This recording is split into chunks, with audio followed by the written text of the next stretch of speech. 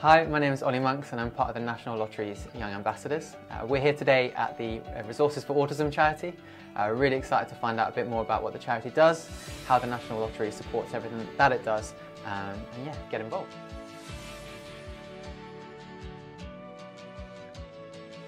Resources for Autism is a registered charity, been around for 22 years and we provide practical services for children and adults with a diagnosis of autism and all those who love and care for them.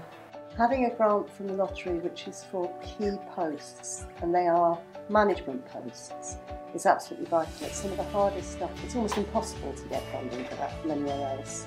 I can honestly and with my hand on my heart say there have been hundreds of exciting moments. Almost every day somebody, a member of staff or a volunteer tells me something that someone has achieved that they wouldn't have achieved if we weren't involved? Well, it's vital that um, places like this do receive support from uh, the National Lottery and funding to make sure that the staff, the projects and that it's the whole um, operation uh, keeps manages to stay high quality and um, can deliver for young people who are sometimes in communities are marginalised and uh, forgotten or um, don't have the opportunities to um, participate and interact with their wider community.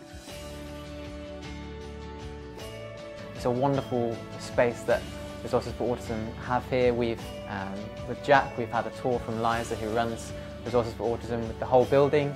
We've met some of the team, uh, found out a lot more about the work that they do and the need actually for you know, young children with autism, families and adults with autism, the need that they have and actually how much has been provided to them uh, from resources. One thing I've also learned is that the National Lottery can be proud of being associated with an organisation like Resources for Autism. That is for sure.